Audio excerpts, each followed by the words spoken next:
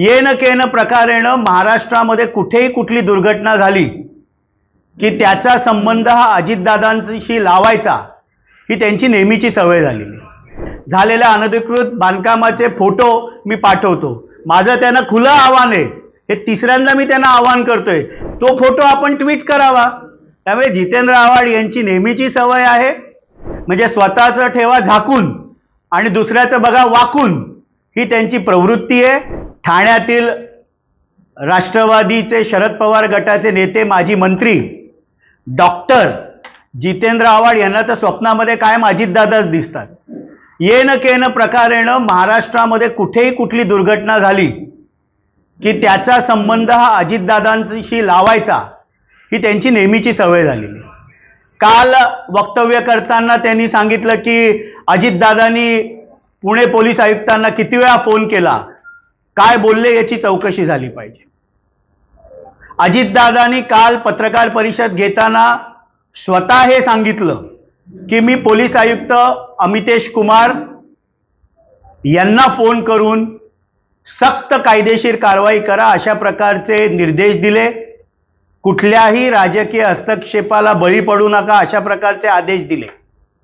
माझा जितेंद्र आव्हाडांना सवाल आहे की ह्याच माननीय अजितदादा पवार साहेबांनी आपल्यासाठी ज्या वेळेला तीनशे चोपन्नचा गुन्हा दाखल झाला त्यावेळेला आपल्यासाठी देखील पोलीस आयुक्तांना फोन केला होता की आपण चौकशी पूर्ण न बघता व्हिडिओ न बघता आमचे सन्माननीय आमदार जितेंद्र आव्हाड यांच्यावर तीनशे चोपन्नचा गुन्हा कसा दाखल केला? हे आपण विसरलात का? हर हर महादेवच्या वेळेला ज्या वेळेला तुम्हाला आम्हाला माझ्या सर्व कार्यकर्त्यांना वर्तकनगर पोलीस स्टेशननी अचानकपणे criminal amendment act section seven nineteen thirty two लावला. त्यावेळेला देखील तत्कालीन ठाण्याच्या पोलीस आयुक्तांना माननीय अजितदादा पवार हे विरोधी पक्ष नेते होते. त्यांनी फोन केला होता. हे आपण विसरलात का? म्हणजे येणं केणं प्रकारेनं अजितदादांशी संबंध जोडायचा. अजितदादांवर कशा प्रकारे आपल्याला खोटी टीका करता येईल हा तुमचा केविलवाणा प्रकार असतो. काल पुण्याचं कार्यालय ब्रह्मा बिल्डर्स बरोबर आपण नाव जोडण्याचा प्रयत्न केला. आपल्याला फार फोटो ट्विट करायची सवय असते. मध्ये आपण नवीन ठाणे महानगरपालिकेचे आयुक्त यांना ट्विट केलं होतं की कळवा मुंब्रामध्ये झालेल्या अनधिकृत बांधकामाचे फोटो मी पाठवतो. माझं त्यांना खुलं आव्हान आहे. हे तिसऱ्यांदा मी त्यांना आव्हान करतोय की कळव्याचं आपलं राष्ट्रवादी काँग्रेस पार्टीचं शरद पवार गटाचं जे कार्यालय आहे हे महाराष्ट्र शासनाच्या सामाजिक न्याय विभाग आणि मध्य रेल्वेच्या जागेवर आहे. त्याचा फोटो देखील आपण सौरभ राव यांना ट्विट करावा.